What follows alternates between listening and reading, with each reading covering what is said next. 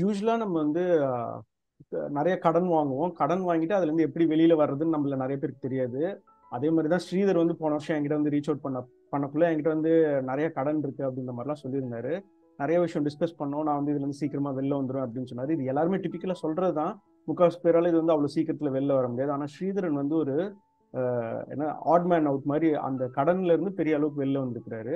இவர் எப்படி இதை சாத்தியமாக்குனாரு அப்படின்றத ப்ளஸ் இன்னும் நிறைய விஷயங்களை அவர்கிட்ட நம்ம பேசி தெரிஞ்சுக்கலாம். வெல்கம் ஸ்ரீதர். முதல்ல நீங்க வந்து உங்களுடைய ஸ்டோரியை உலகத்துக்கு கூட பகிர்ந்துக்கணும் அப்படின்னு அந்த தாட்டுக்காகவே வந்து உங்களை பெரிய அப்ளாஸ் தான் உங்களுக்கு.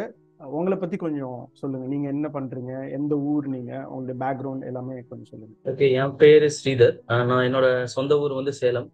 நான் படிச்சது வளர்ந்தது எல்லாமே சேலம்ல தான். தமிழ்நாடு சேலம்ல இருக்க காலேஜ்ல தான் படிச்சேன். நான் பிஇ சிவில் முடிச்சுட்டு அரௌண்ட் டூ தௌசண்ட் டுவெல்ல நான் பெங்களூர்ல ஜாப் ஜாப் சிவில் சம்பந்தப்பட்ட ரிலேட்டட் ஜாப் ஜாயின் பண்ணேன். நான் இனிஷியலா ஜஸ்ட் இன்னும் கேட் மாதிரி பேசிக் டிராயிங்ல ஸ்டார்ட் பண்ணி அப்புறம் இப்போ நான் கா- இப்போ வந்து என்னோட ஸ்கில்ஸ் அப்டேட் பண்ணி நான் ஒரு பிம் மாடலரா சீனியர் பிம் மாடலரா நான் வந்து என் ஃபீல்ட்ல ஒர்க் பண்ணிட்டு இருக்கேன் பெங்களூர்ல அரௌண்ட் டென் இயர்ஸ் ஒர்க் பண்ணிட்டு ten to eleven years work பண்ணி இப்போ நான் வந்து ரீசெண்டா துபாயில ஜாயின் பண்ணி இங்க நாங்க அங்கதான் ஒர்க் பண்ணிட்டு இருக்கேன் ஆல்மோஸ்ட் ஒரு five to five five to four months அங்க தான் ஒர்க் பண்ணிருக்கேன் நான் இப்போ ஜஸ்ட் வெக்கேஷனுக்காக இந்தியா வந்திருக்கேன். ஸோ இதுதான் என்னோட just small intro thanks Karthi சொல்லுங்க. நீங்க வந்து சொன்னீங்க எனக்கு வந்து ஒரு இருபத்தி ரெண்டு லட்ச ரூபாய் கடன் இருக்கு அப்படின்னு சொன்னீங்க. அன்னைக்கு வந்து உங்களுடைய பேவும் ஆல்மோஸ்ட் ஒரே ஆல்மோஸ்ட் எயிட்டி பர்சன்ட் அந்த ரேஞ்சில் இருந்துச்சு. அந்த கடனுக்கும் உங்களுடைய சேலரிக்கும் எயிட்டி பர்சன்ட் மேட்ச் ஆச்சுன்னு வச்சுக்கோங்களேன். முதல்ல எனக்கு என்ன கியூரியாசிட்டினா நீங்க வந்து இருபத்தி ரெண்டு லட்சம் ஏதாவது வீடு வாங்கி உங்களுக்கு கடன் ஆச்சா? இல்ல எதனால இவ்வளவு பெரிய கடன் சுமைக்கு தள்ளப்பட்டீங்க? ஃபர்ஸ்ட் என்னன்னா எனக்கு சீக்கிரமா மேரேஜ் ஆச்சு.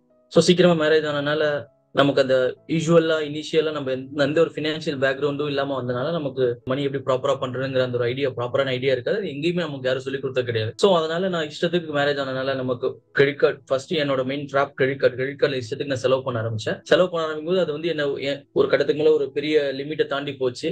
அப்புறம் ஒரு பர்சனல் எடுப்பேன். பர்சனல் எடுத்து அந்த கிரெடிட் கார்டை க்ளோஸ் பண்ணுவேன். அகைன் கிரெடிட் கார்டு யூஸ் பண்ணக்கூடாது முடிவு பண்ணேன். மறுபடியும் பார்த்தா கிரெடிட் கார்டு நம்மள வந்து அது நம்ம யூஸ் பண்ணலன்னா அதை நம்ம யூஸ் பண்ணிக்கும்.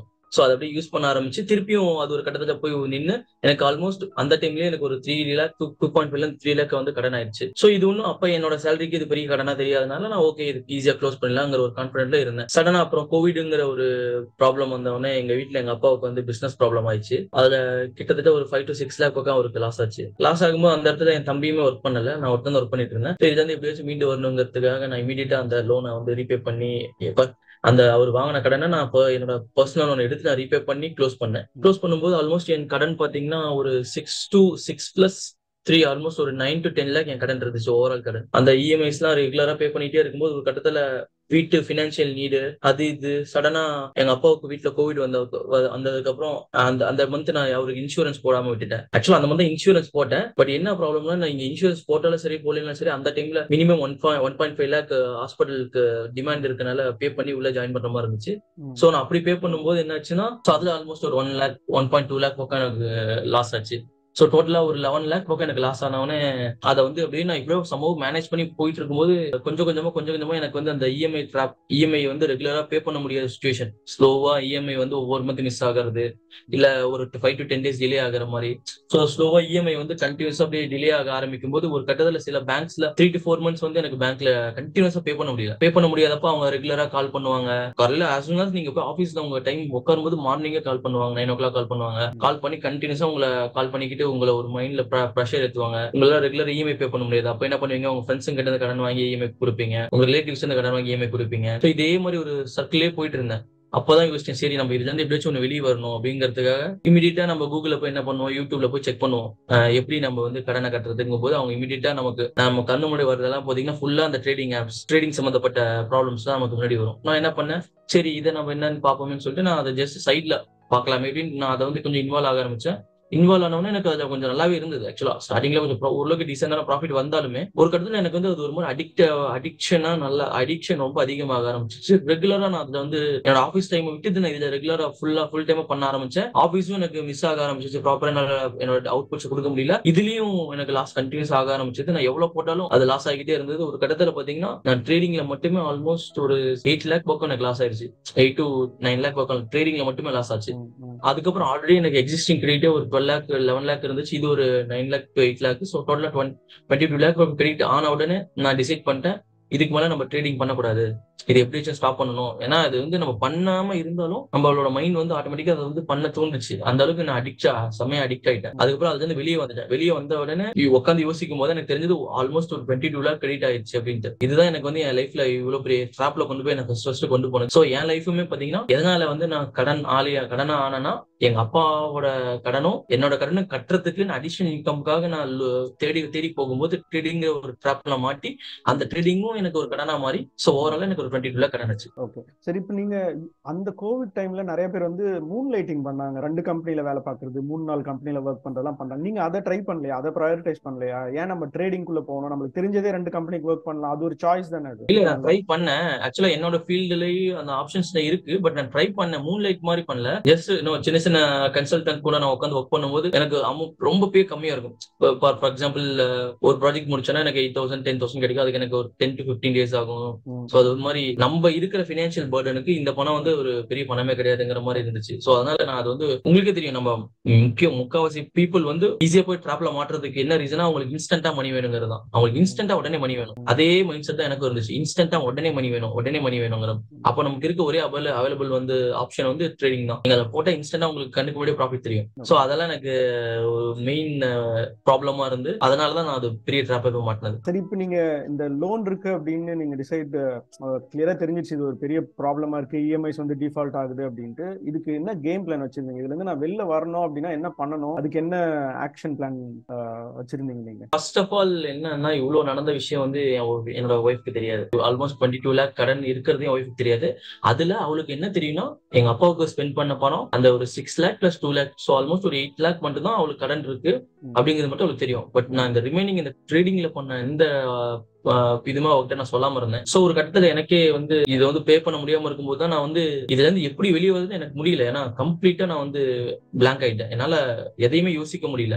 ஒரு கட்டத்துல என் ஒய்ஃப் அந்த நம்ம நம்மளே நம்ம தனிமையா வச்சுக்கணுங்கிற ஒரு தாட்டுக்கு வந்துச்சு. நான் தனியா உட்காந்துக்கிட்டே இருப்பேன். எங்க ஃபேமிலில வந்து கேட்பாங்க என்ன ஆச்சு உங்களுக்கு என்ன ப்ராப்ளம் என்ன ப்ராப்ளம். அவளுக்கு என்ன தெரியும்னா நம்ம நல்ல சம்பளம் வாங்கிட்டு இருக்கோம்னு தான் தெரியும். பட் நம்ம இவ்வளவு இந்த மாதிரி ஒரு ட்ராப்ல இருக்கவங்க அவங்களுக்கு தெரியாது. நான் முடிஞ்ச அளவுக்கு அவங்களுக்கு தெரியாம எவ்வளவுக்கு எவ்வளவு நான் முடியுமோ சால்வ் பண்ண ட்ரை பண்ணேன். பட் என்னால அது எதுவுமே முடியல. அப்புறமா சரி இது இந்த ட்ராப்ல இருந்து நம்ம எப்படி வெளியே வரணும்? முதல்ல நம்ம என்ன பண்ணலாம் அப்படிங்கறது யோசிக்கும் போது நிறைய பேருக்கு இந்த ஆப்ஷன் சொன்னா சிரிப்பு சிரிப்பாங்க. பட் ஆக்சுவலா எனக்கு அது ஒர்க் ஆச்சு. சரி முதல்ல நம்ம காலையில ஜாக்கிங் மாதிரியோ இல்ல வாக்கிங் மாதிரியோ போவோம்னு சொல்லிட்டு நான் காலையில மார்னிங் ஏர்லி மார்னிங் ஒரு ஃபைவ் ஓ கிளாக் வைத்து எழுந்திரிச்சு ஹெட்ஃபோன் எதுவுமே யூஸ் பண்ண மாட்டேன். நான் பாட்டுக்கு பிளைண்டா வாக் பண்ணுவேன். எனக்கு அந்த பார்க் இருக்கு எங்க வீட்டுக்கிட்ட. நான் பிளைண்டா அங்க வாக் வாக்கிங் போவேன் டெய்லியும் டெய்லி ஒரு ஒன் ஹவர் வாக்கிங் போவேன். ஒன் ஹவர் நான் என்ன யோசிப்பேன்னா நம்ம என்ன நேற்று மிஸ்டேக் பண்ணோம்? இன்னைக்கு என்ன பண்ண போறோம்? நம்மளோட பிளான் என்னன்னு நான் அப்பதான் டிசைட் பண்ண ஆரம்பிச்சேன். ஃபர்ஸ்ட் ரேண்டமா நான் வாக் பண்ண ஆரம்பிப்பேன். ஒரு த்ரீ டு ஃபோர் டேஸ் ரேண்டமா வாக் பண்ணேன். என் மைண்ட் வந்து இங்கேயும் அங்கேயும் ஃபிளக்சுவேட் ஆகிட்டே இருந்துச்சு. ஒரு மாதிரி கான்ஸ்டன்டா இல்ல. அப்புறம் ஸ்லோவா நான் ரெகுலரா ஃபாலோ பண்ண ஆரம்பிக்கும் போது என் மைண்ட் கரெக்டா ஒரு ஃபோக்கஸ்டா போச்சு. ஓகே இதுதான் நம்மளோட பிளான் நம்ம இப்போ ஒரே ஆப்ஷன் தான். சார் நம்ம கடனை கட்டணும்னா ஒன்னு சேலரி இன்க்ரீஸ் பண்ணி ஆகணும். இல்லைன்னா வெளிப்படையா நம்ம வீட்டுல எல்லாத்துக்கும் உட்காந்து சொல்லணும். இல்லைன்னா நம்ம சேலரியோ இல்ல வேற ஏதோ ஒரு ஆப்ஷன் ஜாப் அடிஷனல் ஜாப் யோசிக்கணும்னு நினைச்சேன். பட் சேலரி இன்க்ரீஸ் பண்ணணும்னா அதுக்கு ஒரே ஆப்ஷன் இமீடியட்டா முடியவே முடியாது. நம்ம அது ஒரு லாங் ப்ராசஸ்னு தெரிஞ்சிருச்சு எனக்கு. அது இன்ஸ்டன்டா உடனே நாளைக்கே எனக்கு சேலரி கிடைக்காது. ஃபர்ஸ்ட் வீட்ல சொல்லுவோம் அப்படின்ட்டு அதை நான் ஒரு பிளான் பண்ணி வீட்டுல வந்து என் ஒய்ஃப்ட்ட சொன்னேன். என் ஒய்ஃப்ட்ட சொன்னேன் அவ கொஞ்சம் ஃபீல் பண்ணாங்க. பட் இருந்தாலும் அவங்க எனக்கு சப்போர்ட் பண்ணாங்க. சரி ஓகே கோல்டு எல்லாம் இருக்கு. சில சில கோல்ஸ் இருக்கு. நம்ம ட்ரை பண்ணுவோம். நம்ம அதை வச்சு கிளச் பண்ணி முடிஞ்ச அளவுக்கு பார்ப்போம் நாங்க. பட் நம்ம எவ்வளவு முடிஞ்சாலுமே எங்க கிட்ட இருந்த நாங்க வந்து பேசிக்கா ரொம்ப middle class family lower middle கிளாஸ்னால என் ஒய்ஃப்ட்டுமே அந்த அளவுக்கு கோல்டு கிடையாது. டுவெண்ட்டி டூ லேக் வைக்கிற அளவுக்கு இல்ல. ஒரு one lakh one point five லேக்ங்கிற அளவுக்கு தான் கோல்டு இருந்துச்சு. சோ அது வச்சாலுமே எனக்கு அது யூஸ் இல்லைங்கும் போது நான் நீ வைக்க வேணாம். கோல்டு வெயிட் பண்ணுங்க. நான் பார்ப்போம். அப்படின்ட்டு அப்புறம் அவங்க கிட்ட சொன்னேன். அதுக்கப்புறம் ஆனா எனக்கு ஒய்ஃப் சொன்னா அதெல்லாம் ஒன்றும் ப்ராப்ளம் இல்லை. பாத்துக்கலாம் நான் ஒரு கான்ஃபிடன்ஸ் கொடுத்ததுக்கு அப்புறம் தான் எனக்கு தெரிஞ்சது. ஓகே சரி இதுக்கப்புறம் நம்ம எதுவும் ட்ரை பண்ணுவோம் இதுக்கப்புறம் நம்ம அதை வந்து கேம் பிளான் ஒரு ப்ராப்பரான பிளான் போடுவோம்னு சொல்லிட்டு நான் ஒரு ஒரு சின்ன ஒரு ஒரு சிக்ஸ் மந்த் ஒரு பிளான் போட்டேன். டெய்லியுமே என்னோட ஸ்கில்ஸ் அப்கிரேட் பண்ணணும். அது எப்படி பண்றது அப்படின்ட்டு நான் ஒரு சின்ன ஒரு ரிசர்ச் பண்ணும்போது என் அடிஷனல் ஒர்க்குக்கு இந்த ஸ்கில்ஸ் எல்லாம் பண்ணா எனக்கு சேலரி எவ்வளவு கிடைக்குங்கிறது ஒரு ரிசர்ச் பண்ணேன். அதை ரெகுலரா என்னோட ஒர்க்ல நான் இன்வால்வ் பண்ணேன். டெய்லியும் காலையில ஒரு half an hour one hour நான் அதை வந்து ஒரு கான்ஸ்டன்ட் ஹேபிட்டா ஃபாலோ பண்ணேன். டெய்லி அதை கத்துக்கணும் கத்துக்கணும் கத்துக்கணும்ட்டே இருந்தேன். அதை நான் ஒரு ஒன் மந்த் கத்துக்கிட்டேன். பட் கத்துக்கிட்டுமே எனக்கு அது யூஸ் ஆகல. ஏன்னா நான் ஜஸ்ட் கத்துக்கிட்டேன். அவ்வளவுதான்.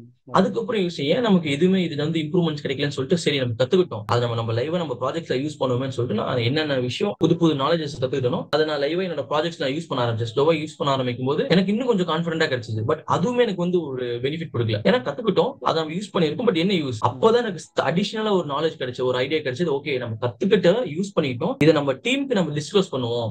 அப்பதான் ஓகே அவங்க நமக்கு இன்னும் கொஞ்சம் நான் லாங் டேர்ம் மெமரியில போய் ஸ்டோர் ஆகும்னு சொல்லிட்டு நான் என்னோட சின்ன டீம் என்னோட four four six to seven people இருந்தாங்க நான் உங்களுக்கு நான் ஸ்லோவே நான் எக்ஸ்பிளைன் எக்ஸ்பிளைன் பண்ண ஆரம்பிச்சேன். நான் இந்த மாதிரி விஷயம் கத்துக்கிட்டேன். என்னோட லைன் மேனேஜர் சொன்னேன். நான் எவ்ரி வீக் டியூஸ்டே நான் ஒரு ஹாஃப் அன் அவர் காலில் நான் இந்த மாதிரி புது புது விஷயங்களை நான் டீமுக்கு நான் எக்ஸ்பிளைன் பண்ணேன்னு சொல்லி சொல்லிட்டேன். இது நான் அவங்களுக்கு நான் ப்ராமிஸ் பண்ணதுக்கு அப்புறம் என்ன ஆச்சுன்னா எவ்ரி மந்த் நானா என்னைய நான் வந்து கஷ்டத்துல மாத்திக்கிட்டேன். வேற வழியில கத்துக்கிட்டே தான் ஆகணும்ட்டு சோ அப்போ என்னன்னா எனக்கு ஒரு விஷயம் இந்த இடத்துல. நீங்க ஏதாவது ஒண்ணு நம்ம கத்துக்கிறோம்னா நான் என்- எனக்கு தெரிஞ்சதை நான் மத்தவங்க கிட்ட சொல்லி கொடுத்துட்டேன்னு வச்சுக்கோங்களேன். நம்மளுடைய ஜாப் வந்து அட் ஸ்டேக் ஆயிடுமோ அப்படின்னு நம்மள நிறைய பேர் பயப்படுவோம் ஆனா இதை எப்படி நீங்க ஓவர் கம் பண்ணீங்க? நான் எல்லாம் நான் கத்துக்கிட்டது எல்லாருக்கும் போய் சொல்லணும் அதுதான் நிறைய அது அது அது பேசிக்காவே எல்லாத்தோட மைண்ட் செட்டும் அப்படிதான் இருக்கும். அவங்க என்ன நினைப்பாங்க? நம்ம இப்போ ஒரு விஷயம் கத்துக்கிட்டோம். அந்த கத்துக்கிட்டதை நம்ம டீமுக்கு சொல்லி கொடுத்தா கண்டிப்பா நமக்கு நம்மளை விட அவங்க க்ரோ ஆயிருவான்னு நினைப்பாங்க. அங்கதான் அவங்க பெரிய பெரிய தப்பு பண்றாங்கன்னு அர்த்தம். நீங்க ஒரு விஷயத்த உங்க டீமுக்கு நீங்க ஷேர் பண்ணீங்கன்னா உங்க டீம்ல இருக்க ஒரு பத்து பேர் என்ன பண்ணுவாங்க? இந்த மாதிரி கார்த்திகோ இல்ல ஸ்ரீதரோ ரொம்ப நாலேஜா இருக்காங்க அப்படின்ட்டு ஒரு பத்து பேர்த்து கூட ஷேர் பண்ணுவாங்க. அந்த பத்து பேர் இருபது பேர்த்து ஷேர் பண்ணுவாங்க. சோ அப்ப என்ன ஆகும்னா ஓவராலா ஒரு கம்யூனிட்டிக்குள்ள ஒரு ஓவரால் டீமுக்குள்ள ஸ்ரீதரங்கிறவனுக்கு ஒரு வேல்யூ கிடைக்கும். சோ இந்த வேல்யூ என்ன ஆகும்னா சப்போஸ் அந்த பத்து நம்ம டீம்ல இருக்க வேற யாரோ வேற கம்பெனிக்கு போனாங்கன்னா பர்டிகுலர் உங்களை ரெஃபர் பண்ணுவாங்க. காரணம் என்ன? நீங்க அடிஷனலா வேல்யூ இருக்கீங்க. மத்தவங்கள நீங்க கொஞ்சம் எக்ஸ்ட்ரா வேல்யூ இருக்குன்னு சொல்லிட்டு உங்களை நம்ம ரெஃபர் பண்ணுவாங்க. அது ஒரு ரீசன் இன்னொன்னு நீங்க டீமா க்ரோ ஆகும்போது உங்களுக்கு growth அதிகமா இருக்கும். நிறைய பேர் நினைக்கிற தப்பு அதுதான். நம்ம இப்போ ஒருத்தருக்கு சொல்லி கொடுத்தோம்னா அவங்க நம்ம மேல மேலே நம்ம நம்ம நம்ம நம்ம லெவலுக்கு வந்துருவாங்க. நம்ம கீழே போயிடுவோம் அப்படி கிடையாது. அவங்க நம்ம லெவலுக்கு வந்தாலும் நம்ம அவங்களுக்கு மேல போவோம். அதை அவங்க யோசிக்கவே மாட்டாங்க. நிறைய பேர் நினைக்கிற தப்பு சூப்பரான இன்புட் இப்ப நீங்க வந்து துபாய் போனதுக்கு இது ஒரு பேஸா அமைஞ்சுதா உங்களுக்கு? இதுதான் எனக்கு ஆக்சுவல் பேஸ் நான் வந்து ஃபர்ஸ்ட் ஆஃப் ஆல் துபாய் போற ஐடியாவே இல்ல. சோ என்னோட சேலரி ஆக்சுவலா பாத்தீங்கன்னா நான் கடன்ல இருக்கும்போது ஃபார்ட்டி ஃபைவ் தௌசண்ட் நீங்களே யோசிச்சு பாருங்க. ஃபார்ட்டி ஃபைவ்ல இருந்து சிக்ஸ்டி தௌசண்ட் சேலரி இருக்கும்போது எனக்கு டுவெண்ட்டி டூ லேக் கடன் இருந்துச்சு. கண்டிப்பா யாராலையுமே இந்த இடத்துல மேனேஜே பண்ண முடியாது. மந்த் எண்டுக்கு மந்த் எண்டில் அல்ல மந்த் சேலரி வந்து அன்னைக்கு எனக்கு கையில கையில கேஷ் இருக்காது. அந்த அளவுக்கு இருக்கும்போது நான் இந்த இந்த ப்ராசஸ் பண்ணி ஒரு சிக்ஸ் மந்த்ஸ் எனக்கு பெனிஃபிட் கிடைச்சது. எங்க ஆஃபீஸ்க்குள்ளேயே என்ன வந்து பெரிய நாலேஜ் இருக்கு. நான் பர்சனா பார்க்க ஆரம்பிச்சாங்க. அதை வச்சு நான் என்ன பண்ணேன்? அடுத்து ஒரு கம்பெனி அப்ளை பண்ணேன். என்னோட சேலரி வந்து ஃபார்ட்டி ஃபைவ்ல இருந்து சிக்ஸ்டி லேக்ல இருந்து அப்படியே என்னோட சேலரி ஒன் பாயிண்ட் டூ லேக்கா டபுள் ஆச்சு. ஹண்ட்ரட் பர்சன்ட் எனக்கு கிடைச்சிச்சு. அங்க உள்ள போனது வந்து உள்ள போனதுக்கு அப்புறம் நான் யோசிச்சேன் நம்ம ஒரு ஆறு மாசம் நம்ம பண்ண சின் ஒர்க்குக்கே நமக்கு நம்ம சேலரி டபுள் ஆயிருக்கு. நம்ம எதையும் ரெகுலரா ஃபாலோ பண்ணக்கூடாதுன்னு தோணுச்சு. பட் இனிஷியலா எனக்கு அதை பண்ண முடியல நமக்கு அந்த ஒரு சேலரி பெருசா வந்தோடனே நம்ம நினைப்போம் ஓகே போதும் இதுக்கு மேல அப்படிங்கிற ஒரு மைண்ட் செட் வரும்ல. அந்த மாதிரி வந்துச்சு. பட் நான் விடல. இல்ல நம்ம இதை கண்டினியூ பண்ணுவோம்னு சொல்லிட்டு திருப்பி நான் அங்க போய் கண்டினியூ பண்ண ஆரம்பிச்சேன். அங்க கண்டினியூ போது நான் என்ன எங்க டீமுக்கு நான் எக்ஸ்பிளைன் பண்ணணும் அதே கான்செப்டை நான் அங்க போய் அப்ளை பண்ணேன். அங்க அப்ளை பண்ணும்போது என்னோட டைரக்டர் ஒருத்தர் என்னோட ஒர்க்கை பார்த்து என்னோட டைரக்டரும் துபாயில இருக்க அவங்க ஒரு என்னோட இப்ப- இருக்க என்னோட மேனேஜரும் க்ளோஸ் ஃப்ரெண்ட்ஸ் க்ளோஸ் ஃப்ரெண்ட்ஸ் அவங்க ரெண்டு பேரும் கேட்டுக்கிட்டாங்க. எனக்கு இந்த நாலேஜ் இருக்க பர்சனா உங்க டீம்ல இருந்தா சொல்லுங்கன்னாங்க. சடனா என் டேரக்டர் வந்து என் பிரசன்டேஷனை பார்த்துட்டு என்கிட்ட கால் பண்ணி கேட்டாரு. நீ ட்ரை பண்றியா? அப்படின்னு நான் கேட்டேன் இல்ல சார் ஒரே கம்பெனில இருக்கு. எப்படி நீங்க என்ன ரெஃபர் பண்ணீங்க? இல்ல நீ அந்த எக்ஸ்பி அந்த பிரசன்டேஷன் நீ கொடுத்தப்ப நான் உன்னை பார்த்தேன். ரெக்யூர்மெண்ட்டும் அலாங் அதே ரெக்யூர்மெண்ட் தான் அவங்க கேட்கறாங்கன்னு சரி நான் ட்ரை பண்ணேன். அப்புறமா தான் எனக்கு அந்த ஆப்பர்ச்சுனிட்டி கிடைச்சது. அப்பதான் நான் யோசிச்சேன் ஓகே நம்ம பண்ணிட்டு இருக்க ப்ராசஸ் வந்து கரெக்டான ப்ராசஸ் நம்ம கத்துக்கிட்டு நம்ம பாட்டுக்கு மத்தவங்களுக்கு சொல்லி கொடுத்துக்கிட்டே இருந்தோம்னா கண்டிப்பா நம்ம க்ரோ ஆகுறோம்னு யோசிச்சுட்டு இப்ப துபாய் வந்ததுக்கு அப்புறம் நான் அதே கான்செப்ட் தான் ஃபாலோ பண்ணிட்டு இருக்கேன். சரி இப்போ நீங்க வந்து அந்த கடன்ல வந்து அந்த ஃபேஸ் கொஞ்சம் எக்ஸ்பிளைன் பண்ணுங்களேன். நீங்க வந்து இப்போ நிறைய பர்சனல் லோன்லாம் எடுத்தீங்க. கொஞ்சம் செட்டில்மெண்ட் அதை பத்திலாம் கூட நம்ம பேசினப்ப சொன்னீங்க. அதை பத்தி கொஞ்சம் சொல்லுங்க. செட்டில்மெண்ட்டுக்கு வந்து எவ்வளவு பேங்க்ல கேட்டாங்க? நீங்க எவ்வளவு வந்து எங்களால ஆஃபர் பண்ண முடியும்னு சொன்னீங்க. அந்த ஆஸ்பெக்ட்ஸ் கொஞ்சம். குறிப்பா ஒரு ஒரு பிரைவேட் பேங்க்ல மட்டும் எனக்கு என்ன ஆயிடுச்சுன்னா டிஃபால்ட் ஆயிடுச்சு. நான் என்ன வந்து நான் பர்ஃபார்மிங் செட்டா நான் மாறிட்டேன். சோ அதனால அவங்க வந்து வீட்டுக்கே வந்துட்டாங்க. வீட்டுக்கே வந்து ஃபேமிலி கூட உட்காந்து டிஸ்கஸ் பண்ணி நீங்க ஒரு சிக்ஸ் டு செவன் மந்த்ஸ்ல உங்க லோனை நீங்க கம்ப்ளீட்டா பே பண்ணி க்ளோஸ் பண்ணி ஆகணும் அப்படின்ட்டாங்க. நான் அந்த சிக்ஸ் டு செவன் மந்த்ஸ்ல தான் துபாய் போயிட்டேன். துபாய் போனதுக்கு அப்புறம் நான் ரெகுலரா இஎம்ஐ பே பண்ணிட்டு இருந்தாலுமே நான் இவங்க கிட்ட கொடுத்த ப்ராமிஸ் நான் மறந்துட்டேன். சிக்ஸ் டு செவன் மந்த்ஸ்ல நான் வந்து ஃபுல் அமௌண்ட் பே பண்ணிடுறேன் அப்படின்ட்டு ப்ராமிஸ் கொடுத்திருந்தேன். அதை நான் மறந்துட்டேன். அப்புறம் என் ஒய்ஃப் கிட்ட எல்லாம் பேசி இந்த மாதிரி உங்க ஹஸ்பண்டுக்கு பர்சனல் லோனோட பெண்டிங் வந்து ஒரு த்ரீ பாயிண்ட் நைன் லேக் பக்கம் இருக்கு. நீங்க அதை வந்து க்ளோஸ் பண்ணியே ஆகணும். இல்லைன்னா நாங்க வந்து அடுத்து என்ன ஆக்ஷன்ஸ் எடுக்க முடியுமோ எடுப்போம் அப்படின்னு சொல்லி சொல்லிட்டாங்க. அப்பதான் வந்து எனக்கு லைட்டா மைண்ட்ல ஸ்ட்ரைக் ஆச்சு. ஓகே என் ஒய்ஃப் கிட்ட நான் பர்சனலா கால் பண்ணி அதுவும் இல்லாம அவங்க வந்து என் ஒய்ஃபோட நம்பர்லாம் வாங்கிட்டு போயிட்டாங்க. சோ நான் துபாயில இருக்கனால அவங்க எதுவுமே என்கிட்ட கான்டாக்ட் பண்ணல. எல்லாமே கம்ப்ளீட்டா கம்ப்ளீட்டா என் ஒய்ஃப் கூட தான் அவங்க கான்டாக்ட் பண்ணி பேசிட்டு இருந்தாங்க. நான் அப்ப என்ன அப்ப எனக்கு லைட்டா மைண்ட்ல ஒரு சின்ன ஸ்ட்ரைக் ஆச்சு. நான் என் ஒய்ஃப் கிட்ட பேசினேன். இந்த மாதிரி அவங்க வந்து பே பண்ண சொல்லியிருக்காங்கன்னு சொல்லி சொன்னாங்கன்னு சொன்னோன்னே நீ ஒன்றும் பண்ண வேணாம். ஜஸ்ட் அவங்க கிட்ட பேசு. இந்த மாதிரி அவர் வேலை தேட தான் போயிருக்காரு. நான் வேலைக்கு போல. அதனால என்னால த்ரீ பாயிண்ட் நைன் லேக்ல பே பண்ண முடியாது. இவ்வளவுதான் அமௌண்ட் பே பண்ண முடியும்னு சொல்லி ஒரு குறிப்பிட்ட அமௌண்ட் நான் டிஸ்கஸ் பண்ணி அவர்கிட்ட சொன்னேன். இது சொல்லுன்னேன் நான் என்ன நினைச்சேன்? சரி ஒரு டென் தௌசண்ட் டுவெண்ட்டி தௌசண்ட் நம்ம கம்மி ஆனா கூட நமக்கு அது ஒரு ப்ராஃபிட் தான். அட்லீஸ்ட் ஒரு டென் தௌசண்ட் நமக்கு சேவ் ஆகுதுங்கிற பிளான்ல நீ கேளு எவ்வளவு கம்மியா பண்ண முடியுமோ கேளுன்னு சொல்லி என் ஒய்ஃப் கேட்டேன். என் ஒய்ஃப் ஸ்ட்ரெயிட்டாவே டூ லேக் வந்துட்டா. த்ரீ பாயிண்ட் நைன்ல இருந்து அவ டேரக்டா அவங்க டூ பாயிண்ட் டூ லேக் பக்கம் வந்துட்டாங்க. என்னால இவ்வளவுதான் முடியும் அப்படின்ட்டாங்க. ஸோ எங்க என்னோட பர்சனல் ப்ராப்ளம்லாம் அவங்க கிட்ட சொல்லிட்டு என்னால இவ்வளவுதான் முடியும். ஒரு லேடியா என்னால இவ்வளவுதான் முடியும். இதுக்கு மேல எங்களால பே பண்ண முடியாதுன்னு சொல்லி சொன்னவன பேங்க் பர்சன் வந்து ஒரு டூ டேஸ் நாங்க டைம் கொடுங்க நான் செக் பண்ணி சொல்ல சொல்லிட்டு ஆஃப்டர் டூ டேஸ் அவங்க வந்து டூ பாயிண்ட் டூ லேக் வந்துட்டாங்க. Almost three point nine lakh லோன்ல இருந்து அவங்க two point two lakh write off பண்ணிட்டு அது மட்டும் நீங்க பே பண்ணீங்கன்னா உங்களுக்கு லோன் முடிஞ்சது அப்படின்ட்டாங்க. ஸோ டூ பாயிண்ட் டூ லேக்ங்கிறது எனக்கு இங்க ஒரே ஷர்ட்ல பண்ண முடியும். நான் இருந்தாலும் நான் அவங்களை வந்து இன்னும் நான் டைப் பண்ணி three point nine two point two வந்த உடனே எனக்கு கன்ஃபர்மேஷன் கிடைச்ச உடனே இமீடியட்டா நான் உங்களுக்கு அந்த பேமெண்ட்டை பே பண்ணிட்டு க்ளோஸ் பண்ணிட்டு இப்போ நான் என்ஓசி லெட்டர் எல்லாமே வாங்கிட்டேன். ஓகே இப்போ நிறைய பேர் வந்து இந்த செட்டில்மெண்ட் இந்த லோன்ஸ்ல செட்டில்மெண்ட்டுக்குன்னு வரக்குள்ள நம்ம வந்து ஃபுல்லா பே பண்ணணும் அப்படின்னு நினைப்பாங்க. நம்ம வந்து அந்த பேங்கர்ஸ் கூட நம்ம எந்த அளவுக்கு ஹார்ட் பார்கெயின் பண்றோமோ அந்த அளவுக்கு நம்மளுக்கு அது பெனிஃபிஷியல் ஆகும். ஏன்னா நம்ம சுச்சுவேஷன் கொஞ்சம் பேடா இருக்கு. ஸோ இது ஒரு நல்ல டேக் அவே ஆக்சுவலா நம்ம அக்செப்ட் பண்ணிக்கணும். நம்மளால இது பே பண்ண முடியல. அப்படின்னு நம்ம அக்செப்ட் பண்ணிக்கணும் ஃபர்ஸ்ட் நம்மளால முடியலன்னா நம்ம எந்த அளவுக்கு நம்ம கீழே இறங்கி போறோமோ இறங்கி போய் தான் ஆகணும். அந்த இடத்துல நம்ம வந்து பிரசி நம்ம வந்து கொஞ்சம் கௌரவத்தெல்லாம் எதுவும் பார்க்க கூடாது. எந்த அளவுக்கு நம்ம கீழே இறங்கணுமோ வேற வழி இல்லை. ஏன்னா நம்ம தப்பு பண்ணிட்டோம். அந்த தப்பை நம்ம அக்செப்ட் பண்ணிட்டு நம்ம ஆமா நான் இது பண்ணிருக்கேன் அப்படின்னு அவங்க கிட்ட ஒத்துக்கிட்டோம்னா அவங்க கண்டிப்பா நெகோஷியேட் பண்ணுவாங்க. பட் நெகோஷியேஷன் ப்ராப்பரா பண்ணணும். ஓரளவு பண்ண கண்டிப்பா அவங்க ஒத்துக்குவாங்க. எனக்கு எனக்கு இதுதான் ஃபர்ஸ்ட் டைம் நான் எக்ஸ்பீரியன்ஸ் ஆனேன். லோன்ல கூட நெகோஷியேட் பண்ணலாமா அப்படின்ட்டு. சரி எனக்கு இப்போ இன்னொரு ஆஸ்பெக்ட் சொல்லுங்க. இப்போ துபாய் நீங்க போயிட்டீங்க. அங்க போயிட்டு கண்டிப்பா நம்ம அப்ராட் போயிட்டாலே வந்து அது மிடில் ஈஸ்ட் போறாங்கன்னா அவங்களுடைய சேலரிஸ் எல்லாமே வந்து ஒரு three lakh four lakh five lakh இந்த ரேஞ்சில தான் இருக்கும். ஏதோ இந்த ரேஞ்சில தான் த்ரீ டு ஃபைவ் லேக்ஸ்ல தான் இருக்கும். ஹோப்ஃபுல் உங்களுக்கும் அதே மாதிரி ஒரு பேல தான் இருப்பீங்க நீங்க. உங்களுடைய மாச செலவு என்ன துபாயில? சோ என்னோட மாச செலவு பாத்தீங்கன்னா உம், சொன்னாலாம் ஆக்சுவலா சொன்னா ரொம்ப யாரும் நம்ப மாட்டாங்க பட் ஆக்சுவலா இது உண்மைதான். நான் இப்ப இருக்கிறது பெட் ஸ்பேஸ்ல இருக்கேன். ஏன்னா ஒய்ஃப் என்ன ஃபேமிலி கூட்டிட்டு போல. நான் இருக்கிறது. பெட் ஸ்பேஸ்ல இருக்கேன். பிஜி மாதிரி. சோ சிக்ஸ் பெட்ஸ் இருக்கும். சிக்ஸ் பெட்ஸ்க்கு பர் பெட்டுக்கு வந்து எயிட் பிப்டி திரம்ஸ் சார்ஜ் பண்றாங்க. எயிட் பிப்டி திரம்ஸ்னா நம்ம இந்தியன் கரன்சிக்கு ஆல்மோஸ்ட் நைன்டீன் தௌசண்ட் வரும்.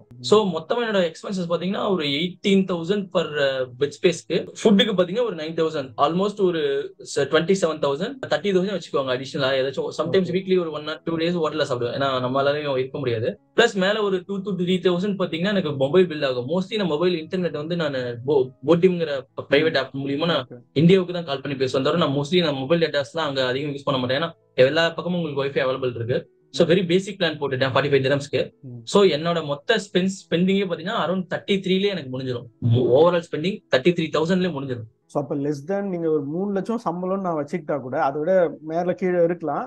அப்படின்னா கூட த்ரீ லேக்ஸ்னா கூட நீங்க லெஸ் தேன் டென் பர்சன்ட்லேயே வந்து உங்களோட லைஃப் ரன் பண்ணிட்டு இப்ப உங்களுடைய பெரும்பகுதி கடனை அடைச்சிட்டேன் அப்படின்னு சொன்னீங்க. எவ்வளவு க்ளோஸ் பண்ணிருக்கீங்க நீங்க? Out of twenty two lakhs எவ்வளவு அந்த அஞ்சு மாசம் நீங்க போய் எவ்வளவு கடன். அடைச்சிட்டீங்க? டுவெண்ட்டி டூ லேக்ஸ் லோன்ல நான் இங்க இந்தியாவில இருந்து ரிலீவ் ஆகி யூகே சாரி துபாய் போகும்போதே பாத்தீங்கன்னா ஆல்மோஸ்ட் எனக்கு அந்த பிஎஃப் வித்ரா பண்ணதுல ஒரு ஃபோர் லேக் க்ளோஸ் பண்ணிட்டேன். பட் என் ஒய்ஃபோட நகையெல்லாம் நான் எடுக்கல. ஒய்ஃபோட நகை ஒரு ஒன் லேக் மட்டும் நான் பிளச் பண்ணேன். ரிமைனிங் ஒரு பர் மந்த் நான் ஒரு த்ரீ தௌசண்ட் த்ரீ லேக் பக்கம் நான் க்ளோஸ் பண்ணிக்கிட்டே இருந்தேன் எவ்ரி மந்த் ஃபோர் மந்த்ஸ் எனக்கு சேலரி கிடைச்சது. அதுலயே எனக்கு டுவெல் லேக் பக்கம் க்ளோஸ் பண்ணிட்டேன். பிளஸ் அடிஷனல் இந்த ஒரு ஃபோர் லேக் பிஎஃப்ல அமௌண்ட் இருந்து க்ளோஸ் பண்ணேன். ஸோ ஒரு sixteen to seventeen lakh close பண்ணிட்டேன். இன்னும் எனக்கு ஒரு அரௌண்ட் ஃபைவ் லேக்ஸ் சம்திங் என்னமோ இருக்கு. அந்த ஃபைவ் லேக்குமே பாத்தீங்கன்னா இங்க ரிலேட்டிவ்ஸ் கிட்ட இருந்தும் கோல்டு வாங்க ப்ளச் பண்ணது தான் எதுவுமே இஎம்ஐஸ் எதுவும் கிடையாது. ஸோ அது வந்து நம்ம ஏன் அது நான் ப்ரையாரிட்டிஸ் பண்ணிக்கிட்டேன். எந்தெந்த லோன்ஸ் ஃபர்ஸ்ட்டோ எது நமக்கு ஐ சார்ஜ் இன்ட்ரெஸ்ட்டோ நீங்க தான் சொல்லி கொடுத்தீங்க எது சார்ஜ் அதிகமா இருக்கோ இன்ட்ரெஸ்ட் அதை ஃபர்ஸ்ட் க்ளோஸ் பண்ணுங்க. ரெஸ்ட் ஆஃப் இன்ட்ரெஸ்ட் நீங்க அப்புறம் பாத்துக்கலாம் நீங்க நான் லாஸ்டா அந்த ஸ்னோபால் மெத்தட்னு சொல்லுவாங்களா அந்த மெத்தட ஃபாலோ பண்ணி லாஸ்டா எது இதெல்லாம் கம்மி இன்ட்ரெஸ்ட் இருக்கோ அதை லாஸ்டா வச்சிருக்கேன். அது upcoming months maximum two to three months நான் க்ளோஸ் பண்ணிடுவேன் சூப்பர். இதுதான் நிறைய பேர் வந்து செய்யணும். ஆனா இனிஷியல் வந்து அந்த பேர்டன் அதிகமா இருக்கும். பட் அதுதான் நம்ம என்னைக்கா இருந்தாலும் அதை வந்து ஹேண்டில் பண்ணி தான் ஆகணும். அதை நம்ம வந்து வி கேன் ப்ரையாரிட்டிஸ் அது டாப் ப்ரையாரிட்டில நம்ம வந்து வச்சுட்டு அதை வந்து டேக்கிள் பண்ணலாம்னு நினைக்கிறேன். சரி இன்னொரு விஷயம். நீங்க வந்து துபாயில இருக்கிறப்ப அங்க இருக்கிற ஃப்ரெண்ட்ஸ் கலீக்ஸ் அவங்களுடைய லைஃப் ஸ்டைல்லாம் வந்து எப்படி இருக்கு? என்கிட்ட சொல்லிட்டு இருந்தீங்க. அவங்களுமே வந்து நிறைய கடன் வாங்குறாங்க. இஎம்ஐ ட்ராப்ல தான் இருக்கிறாங்க. அதை பத்தி கொஞ்சம் சொல்லுங்க.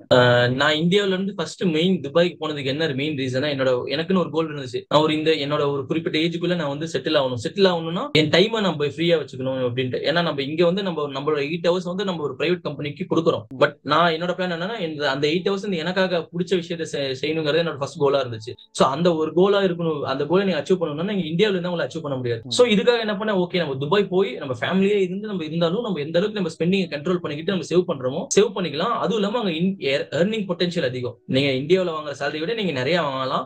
நீங்க இன்னும் உங்க ஸ்கில்ஸ் அதிகமா இருக்குன்னா நீங்க துபாயில வாங்குற சேலரி இமேஜினே பண்ண முடியாது. அளவுக்கு நல்ல சேலரி வாங்கலாம். சோ அப்ப அங்க போனா நம்ம ஷார்ட் டேர்ம்ல சீக்கிரமா செட்டில் ஆயிடலாம். வீட்டுக்கு வந்து நம்ம ஃபேமிலி கூட நிறைய டைம் ஸ்பெண்ட் பண்ணலாம் நமக்கு பிடிச்ச விஷயங்களை பண்ணலாங்கிறத என் பிளானா இருந்துச்சு. அதுக்காக தான் அங்க போனேன்.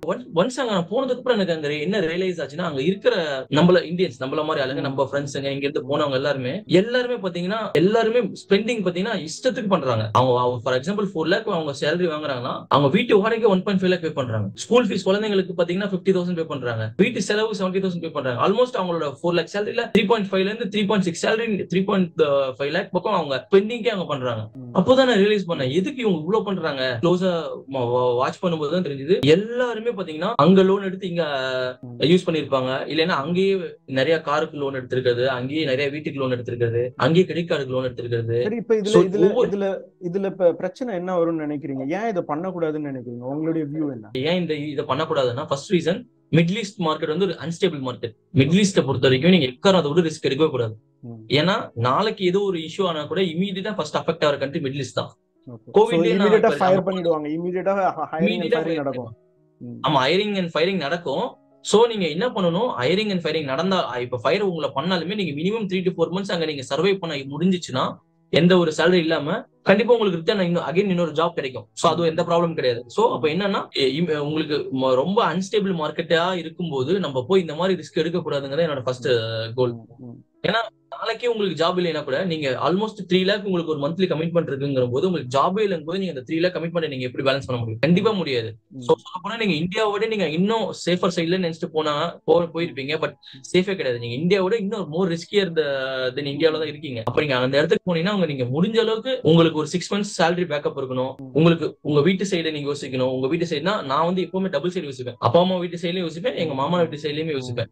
எந்த ஒரு எமர்ஜென்சி சுச்சுவேஷன் வந்தாலும் அவங்களுக்கு பேக்கப் இருக்கணும்னு நான் யோசிப்பேன். நாளைக்கு என் ஃபேமிலி என் தம்பிக்கு யோசிப்பேன். சோ இப்படி எல்லாம் யோசிச்சு இதுக்குன்னு ஒரு அமௌண்ட் நீங்க யோசிச்சு வச்சிருப்பீங்க. அதை நீங்க பேக்கப் வச்சுக்கிட்டு அதுக்கப்புறம் நீங்க அங்கேயே ஒரு ஆறு மாசம் சஸ்டைன் பண்ற அளவுக்கு உங்களுக்கு பேக்கப் வச்சுக்கிட்டு நீங்க என்ன ரிஸ்க் எடுக்கலாம். ஆனா எனிவே நம்ம இந்தியாவை கம்பேர் பண்ணக்குள்ள அவங்க சேஃபரான இடத்துல தானே இருப்பாங்க. ஏன்னா ஒரு நாலு லட்சம் வாங்குறாங்க அப்படின்னா இப்ப எனக்கு த்ரீ லேக்ஸ் ஸ்பெண்ட் ஆயிடுச்சுன்னா கூட ஒரு லட்சம் சேமிப்பு இல்ல எனக்கு. வருஷத்துக்கு நான் ஒரு பன்னெண்டு லட்சம் பதினஞ்சு லட்சம் நான் சேமிச்சிடறேன் ரைட்டா என்னதான் நான் வந்து அங்க அந்த ஸ்டாண்டர்டுக்கு நான் லோவா இருந்தா கூட இந்தியன் ஸ்டாண்டர்டுக்கு நான் வந்து ராஜா மாதிரி தானே இப்ப அதுல என்ன பிரச்சனை இருக்கு?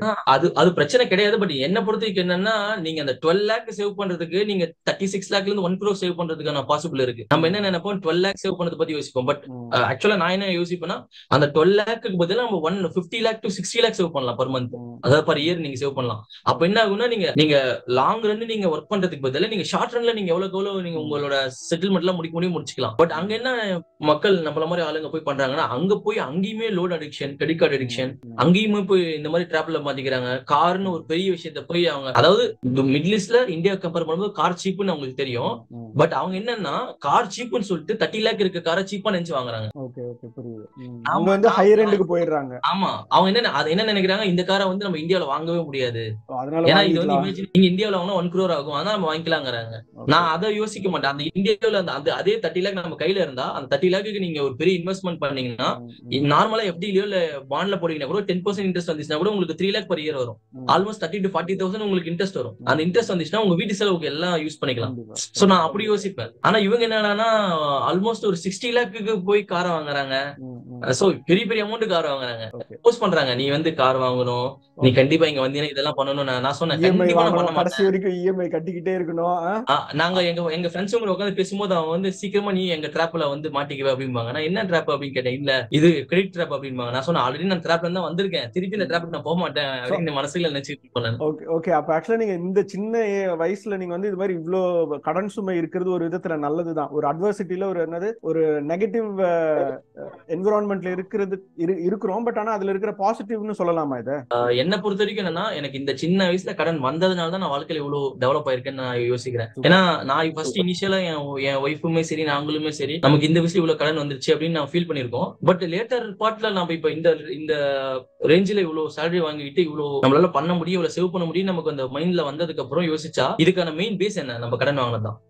ஆனா நிறைய பேருடைய. நான் நிறைய பேருக்கு ஆக்சுவலா அது நெகட்டிவா போயிடும். அது வேற. உங்களுக்கு வந்து டைம் நல்லா ஒர்க் அவுட் ஆயிருக்கு. அதனால அது வந்து நீங்க உங்களுக்கு அது பாசிட்டிவ் அமைஞ்சிருக்கு. சரி எனக்கு இன்னொரு ஆஸ்பெக்ட் இப்போ நீங்க வந்து அதாவது லைஃப்ல வந்து நிறைய மிராக்கிள்ஸ் நடக்கும். அது வந்து அவங்க உங்களுடைய பர்சனல் லைஃப் உங்களுக்கு நடந்தாதான் அது தெரியும். இப்போ நான் பார்த்துருக்கேன் எனக்கு நடந்திருக்காது நான் உங்களுடைய லைஃப்லயும் அதை நான் பாக்குறேன் உங்களுக்கு வந்து ரெண்டு பெண் பிள்ளைகள் சொன்னீங்க ரைட்டா முத குழந்தை பிறந்ததும் உங்களுடைய சம்பளம் வந்து கொஞ்சம் நல்லாவே வந்து ஜம்ப் ஆச்சு. அதே மாதிரி ரெண்டாவது பொண்ணு பிறந்ததும் நல்லா ஜம்ப் ஆச்சுன்னீங்க. அப்புறம் துபாய் வாய்ப்பும் அவங்க பிறந்த கொஞ்ச நாளே நடந்தது அப்படின்னீங்க. சோ அதை நான் வந்து ரிலேட் பண்ணி பாத்துக்கிறேன் நீங்க ஒரு சிலர் வந்து சொல்லலாம் இது வந்து மூட நம்பிக்கை அப்படின்லாம் ஏதோ ஒரு விதத்துல நம்பிக்கை தான். நான் ஒரு இன்டர்வியூ கொடுத்துருக்கேன் நான் நம்புறேன். அது மூட நம்பிக்கையா? நம்பிக்கையா? We don't know that okay it all has its place in லைஃப்னு நினைக்கிறேன் நான். சரி நீங்க what you think about it எனக்கும் எனக்கும் இது ஆக்சுவலா ஃபர்ஸ்ட் நம்பிக்கையே இல்லை. ஃபர்ஸ்ட் ஆஃப் ஆல் எனக்கு இந்த மாதிரி இதெல்லாம் நம்பிக்கை இல்லாம தான் இருந்தது. பட் எல்லாருமே சொன்னாங்க ஃபர்ஸ்ட் பாப்பா பிறந்தா கேர்ள் பேபி பிறந்தா உங்களுக்கு நல்லது நடக்கும் அப்படின்னாங்க. எனக்கு அதே மாதிரி குழந்தை பிறக்கும்போது என் சேலரி டுவெண்ட்டி தௌசண்ட் வந்து ஃபார்ட்டி ஃபைவ் தௌசண்ட் ஆச்சு. அதுக்கு அதுக்கப்புறம் நடுவில் நிறைய இன்டர்வியூஸ் அட்டன் பண்ண எதுவுமே எனக்கு கிளிக் ஆகல.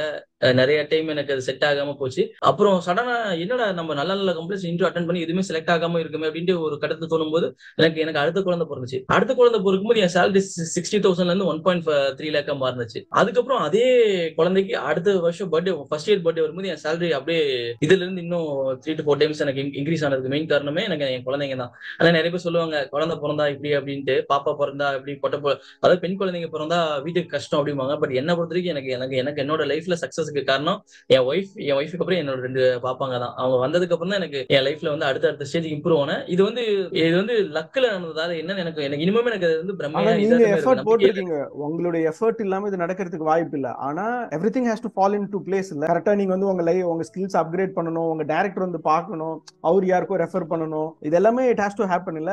Right time at the right place so நான் ஒரு புக்ல படிச்சேன். அதுல அந்த அந்த ஒரு சென்டென்ஸ் எனக்கு இன்னும் மைண்ட்ல ஓடிட்டே இருக்கும். என்னன்னா நீங்க வந்து இப்போ உங்களுக்கு எவ்வளவுதான் டேலண்ட் இருந்தாலுமே நீங்க நீங்க உங்க டேலண்ட்டை நீங்க வெளியே எக்ஸ்போஸ் பண்ணாம இருந்தீங்கன்னா சான்சஸ் ஆஃப் growing வந்து ரொம்ப லெஸ்ஸா இருக்கும்னு அர்த்தம். ஏன்னா. நீங்க வந்து வெளியே ஒருத்தருக்கு எக்ஸ்போர்ட் டெமான்ஸ்ட்ரேட் பண்ணும்போது தான் நீங்க வந்து உங்களோட லக்கை இன்க்ரீஸ் பண்றீங்கன்னு அர்த்தம். நீங்க எப்ப உங்களை மத்தவங்களுக்கு உங்களை மாதிரி ஒரு இருபது முப்பது பேத்துக்கு நீங்க வந்து அதை வந்து சொல்றீங்களோ நீங்க வந்து உங்களோட லக்க அதாவது getting better job and better பிளேஸ்ங்கிற அந்த லக்க. இன்க்ரீஸ் பண்றதுக்கான சான்ஸ் வந்து நீங்க வெளியே சொன்னாதான். நீங்க எவ்வளவு ஒரு ஸ்மார்ட் பர்சனா இருந்தாலும் நீங்க உங்களோட நாலேஜ் உங்களுக்குள்ளே வச்சிருந்தீங்கன்னா நீங்க உங்க லக்க வந்து இன்க்ரீஸ் பண்ணவே இல்லை ஜீரோல வச்சிருக்கீங்கன்னு அர்த்தம். நான் என்ன பண்ணேன்? எனக்கு இருந்த லிமிடெட் நாலேஜை கொஞ்சம் க்ரோ பண்ணி நான் அதை வந்து எல்லாத்துக்கும் டிஸ்ட்ரிபியூட் பண்ணும்போது நான் என்னோட லக்கை இன்க்ரீஸ் பண்ணிக்கிட்டேன். ப்ராபபிலிட்டி ஆஃப் லக் வந்து எனக்கு அதிகமாயிருச்சு. சோ அதனாலதான் எனக்கு வந்து சான்சஸ் இந்த மாதிரி கிடைச்சது. ஏன்னா என்னோட பெட்டர் டேலண்டான டீம்ல என்னோட என்னோட டீம்ல இருந்திருக்காங்க. பட் அவங்க என்ன பண்ணிட்டாங்க? அவங்க இந்த விஷயத்தை மிஸ் பண்ணிட்டாங்க. அப்பதான் நான் ஒண்ணு புரிஞ்சுக்கிட்டேன். நம்ம வந்து உங்களுக்கு ஒரு விஷயம் டேலண்ட்ல இருக்குன்னா நீங்க அதை வந்து எவ்வளவுக்கு எவ்வளவு உங்க உங்களுக்கு தெரிஞ்சவங்களுக்கோ இல்ல உங்க ரிலேட்டடான ஆளுங்களுக்கு நீங்க டெமோன்ஸ்ட்ரேட் பண்றீங்களோ உங்களோட லக்கை வந்து இன்க்ரீஸ் பண்றீங்க. லக்குன்னு என்ன? Better job better salary better position இல்ல பெட்டர் கம்பெனி டெசிக்னேஷன் இத மாதிரி ஒரு உங்களோட லக் இன்க்ரீஸ் பண்றதுக்கு ஃபர்ஸ்ட் சான்ஸ் நீங்க இது பண்றதுதான். கண்டிப்பா. சோ இப்ப நானா நிறைய பேர் வந்து இதுக்கு சொல்றதுக்கு அவருக்கு என்னப்பா அவர் துபாய்க்கு வாய்ப்பு கிடைச்சிச்சு அதனால அவர் வந்து லோன் அடைச்சிட்டாரு அஞ்சு மாசத்துல அப்படின்றாங்க. ஆனா அதுக்கு பின்னாடி இந்த எஃபர்ட் இருக்கிறதுனால தான் அது நடந்திருக்கு கரெக்டா இல்ல இதே மாதிரி கண்டிப்பா.